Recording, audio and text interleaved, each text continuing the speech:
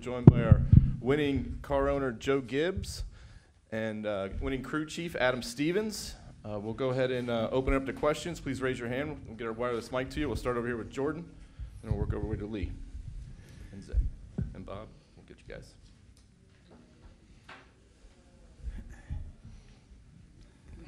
Jordan Bianchi, The Athletic. Uh, this question's for Adam. You guys are 22nd after stage two. Um, frustrations are running high. Kind of take me through what you're thinking at that point, and did you envision like even a win was on the table? No, I wasn't thinking win at that point. You know, we uh, we're decent in the first stage. What did we finish? Eighth or ninth? Um, and we'd gone forward. We lost some little speed in our car, a little balance late on tires, and we tried to make a little bit bigger adjustment um, to to help our balance, and, and it was absolutely dead wrong. Um, it, it hurt it. It doubly hurt it on bo- the both problems we were trying to fix. So we really paid the price the entire second stage, and thankfully stayed on the lead lap somehow. Um, it was bad. So um, the pressure was on to get that adjustment out of there at the end of stage two, um, and actually we did most of it at, on the green flag stop, and uh, and got a little bit better and, and then uh, kind of closed the gap at the stage three break. And um, he had a great restart at the start of stage three and uh, passed 10 or 12 cars there pretty quick. And, and you could see that we woke the car back up. So um, still wasn't quite thinking win yet, but uh, man, the more you pile on his shoulders, that seems like the better he does you you have experience dealing with drivers who can get animated on the radio.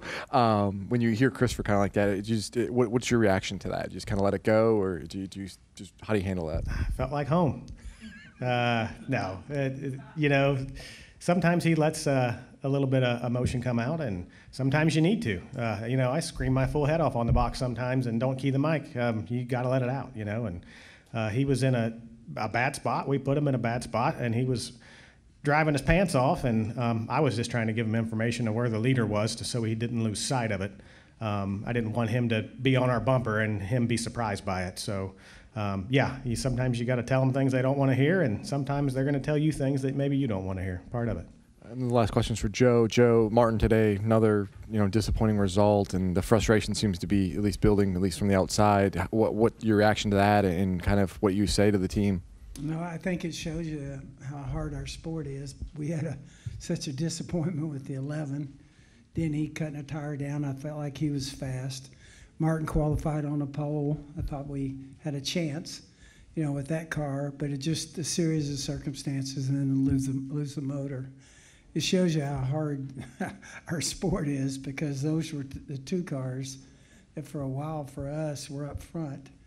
And it also shows you that in sports, and particularly in our sport, the 20 was an example of just never giving up and just keep fighting because, I mean, it went all the way to the second stage where, you know, you don't really think that car is going to make much of a, uh, a dent in things today. And when we're going to Phoenix with the second year in a row with Christopher, it's exciting for us. He's a young guy and to see this promise and the way he and Adam work together. I think also going to Phoenix will be emotional for us. I think of Coy and everything last year, and also JD in there. Those two guys spent their entire lives building our race team. And so, anyway, thrill for us to get a chance to do this. And we just had real disappointments with two of our cars, but the good news is they, they both are good at Martinsville. Okay, we'll go over here to Lee. SpencerCoachFriends.com. Adam, knowing what Bell did last year and then to win when he absolutely had to today, what does that say of the strength of the 20 team and, and the caliber of your driver? Yeah, you know, uh, Bell's a generational talent in this sport. You know, he is as good as they come. He's still learning. Um, we're still learning each other as a team, and if you get him close, he can get the job done. We've proven it time and time again. Um, we got to do a better job as a team and as a company, keeping him in contention. Uh, and when we do that, he's able to claw his way up there and make stuff happen like the great ones do. And, and coach, you kind of touched on this, but I know from the minute that you have gotten into NASCAR, you said the hardest thing for you to get used to. There's only one winner, and 39 losers, or you know whatever the car count is every week, right? Um, but when it's your own team and you see, you know, the highs of, of Bell and then Denny and Martin, you know, being a coach, how do you pump those guys up going into this, the penultimate race of the season? Yeah, I think it's got a lot to do with character, the people that you have in those positions. And I think both Denny and uh, Martin have, that's why we're so fortunate. Those two guys are veteran guys. And in our competition meetings, they're talking, and I think Ty and Christopher are listening to a lot of it, and it's really helped us. But I think it goes back to character and selecting people on your team today. Adam and Christopher, they don't give up, and I know Denny and Martin won't either. It's just amazing sometimes what can happen in a sport to have the 19 do what it did in regular season. You don't luck out on that. That was 26 weeks and won it by a bunch. And so it shows you what can happen in, in sports. It's the greatest reality show in the world because we don't know. And I think as fans, that's why we all like it. We don't know. And so uh, just thrilled to be a part of it. God's blessed us with a lot of great people, really. Go ahead, Bob, and then Uh, Jeff. Bob Pockrass, Fox Sports. Uh, Coach, so do you look at today as a good day because you won, or do you look at it with extremely mixed feelings because of the 11 and 17? And then if the 11 and 17 don't make it, how would you evaluate the season if the 20 is the only, quote unquote, only car that you have in the championship? I think it's hard to get in the Final Four. I'll tell you that. And, uh, you know, I don't think anything's a given. And certainly the 19, all they did in regular season, like I mentioned, and as good as they are, but we've had real disappointments with, with everything that's happened. I think uh, the 11's been pretty consistent up until the last couple of weeks. And so, you know, I think you, you're looking at it as, I think the great thing is we got three cars from our team that have a chance. And so we still got a chance. That's the way we look at it. You know, I think we're going to Martinsville. It's going to be, you know, a classic, I'm sure. But we do have a chance when we go there with both Denny and, and Martin. Okay, come over here to Jeff. Then we'll go to Zach, Dustin, and then in the back. Um, Coach, uh, you know, Bell has now won three pretty pressure-packed races here in, in the playoffs the last couple years. I mean, two eliminations and one today, which, you know, with somebody chasing him down. Um, what what kind of mentality does it take for athletes to perform at sort of a different level and not let the outside noise creep in and affect them in, in those kind of situations? I think that's what we all look at and say, how many guys want to drive cars? How many guys are racing late models? How many get a chance to come up here? And then it winds up being only a small number can really, really get it done when they have to get it done. And it's so hard sometimes, like Christopher, it's only his fourth year, you know. He got thrown in the first year, and we had no practice because of COVID, and we were just throwing him into racetracks, and, you know, he was able to, he and Adam to work through all that. Then he comes back the second year, and then he kind of gets his feet on the ground takes off. The great thing there is how young he is. And I, I think Adam said it, you know, I think Adam's done a great job of bringing him along. And uh, I think he's got great confidence in Adams. That certainly helps. And so I, think it's what it says is that something that could. I, I told him we put a saddle on Christopher and ride him for 20 years. Okay, go over here to Zach. Zach Sturniolo, NASCAR.com. Adam, for you, um, the resiliency of this 20 team. Um, obviously, a, a stinging loss last week, uh, being as close as you guys were, and then you lose the, the lead on pit road late today. Have to retake it all after getting the balance right on, on the car late. What does it say about the resilience of re- resiliency of Christopher, of this 20 team as a whole, and um, what lessons have been learned along the way to get to this point?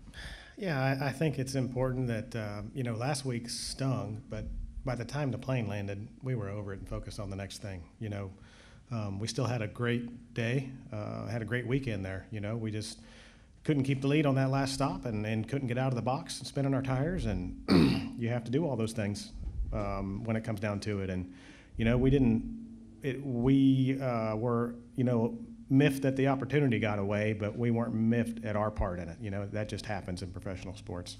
And then it was a matter of digging in and then on to the next one. And, you know, I, I tell the guys all the time that, you know, you can't look backwards. You, you can't dwell on it. And you have to really do your best to pull the good stuff out of the weekend and leave the bad stuff. You know, even on your most dismal weekend, there's something that you learned or something that was good or done well that you can remind the guys of, remind yourself of, and and build off of. And um, you know, that's something that we all need to to remind ourselves and and stay focused on. But it's critically important because if your only goal is the goal is always to win, but if that's the only way that you appease yourself, um, you're going to be miserable, and it's going to pile up, and you're going to make bad decisions. So, um, you know, you have to pull those good things out of those weekends, and I think uh, we did a good job of that. And um, you know, the the pit stops, um, we didn't want to lose the lead, uh, but you know, it, it wasn't the cleanest stop, but we only lost two, and we had good short run speed, and Bell manned up and got it done. That, um, you have to have days like that, and, I, and I'm proud that we had one today. Okay, we'll come here to Dustin, and then we'll take the last question in the back. Dustin Long, NBC Sports. I have questions for both of you, but f- for you, Adam, um, can you give me a sense of perspective of, of another time where you guys were seemingly so far off in a race and able to come back and win? I, the one thing that comes to mind immediately since we're here at Homestead is 2019, because I think going into the, the race, I think everybody kind of figured you guys were the fourth of the four, but hey, you came out the champion. Can you give me a sense of perspective of how what today compares and Yeah, I mean, you, 2019, I didn't really feel that. Maybe in practice, but when the race was going, I, I felt like we were close, um, and we were, uh, and we were up there all day, really. So the one that comes to mind for me is Chicago. I want to say it was 2018. Uh, it was the Dale Jr. slide job race with the uh, with the five, I think. Um, we ran a- around mid pack, tail end of the lead lap most of the day, and clawed our way up to like 10th or 11th. And um, I think there were only maybe 14 on the lead lap, roughly at the time. And I, I told him I got no interest in running 10th or 11th. You know, we're going to call a timeout on here and, and make some changes. And we pulled Packer and added Packer and adjusted shocks and double wedge and track bar and everything. And he just started passing cars um, and, and drove it up there to the front and won that race. And that was a little bit like today, where there was, I mean, middle of the race, we were out of it and then clawed our way back forward. and Joe, um, obviously you've got one car at Phoenix. Uh, you know, you still could obviously have two. Realistically, if you have another, it might only be just one. Um, and understanding that what happens on the track can't compare with what you and your family went through last year. Right. Are you even, I don't know, say looking forward to Phoenix, or how do you approach the idea that Phoenix is coming up on the calendar with this different things? Yeah, I think um, that's a that's a good question. I would say that there's going to be part of that will be remembering things that happened, and um, part of it was hey, I think Heather said that's the happiest she's seen Coy that night. Everything that happened on the racetrack. So anyway, I, and I think obviously a big part of it will be us focused on if the 20 cars there and if we are fortunate enough to get somebody else. I always talk to our team and everything about the fact that we've been 31 years and we only have five championships on the back wall. And we're, that's how hard it is. And this sport is really, really hard because there's so much to it. And if you got a weak part of your race team, the playoffs will find it. And so, uh, yeah, I think there'll there'll be some memories there for sure. Okay, we'll wrap with one last question in the back back here. Trent with uh, FrontStretch.com. This can be for either one of you guys. Um, you know, it's touched on how Christopher Bell has come up in the past uh, two seasons uh, to get into the championship and everything. You know, what is it? You know, you talked about his ability and everything, but what is it about this part of the year that um, he just can get it done in that in those scenarios, um, having having to win? And also, we hear a lot about the first buy from the winner at Las Vegas. Uh, how are you guys approaching Martinsville uh, with prepping the car for Phoenix? Are you guys not really throwing it out the window, but are you guys a little bit more relaxed heading to Martinsville now? Uh, yeah, I mean, I, absolutely. Um, you know, we had some setup stuff that we wanted to try there um, that we got pretty low confidence in. Um, now we have the ability to do that. Uh, so I- I think we'll probably do that, and ho- maybe we'll maybe we'll find something that can really help us for next year. But um, if we have the ability to get up there and race for the win, uh, we'll certainly not turn it away. Um, but if it's not our day, it's not our day, and uh, we're not going to let that bother us. But we need to go have a good, safe race, a good, clean race on pit road, and and build a little momentum um, on that side of it uh, for Phoenix. Uh, but you know, as far as what makes Christopher great in these pressure situations, um, he, he just loves it. He, you know, he, he loves trading paint and racing for the win. And the closer you can get him to the front, um, you know, the better he does. And that's just the, the makeup of a, a real racer and, and somebody who was born to do this. All right, gentlemen, thank you for coming in. Thank y'all. Good luck the rest of the season. Thank you.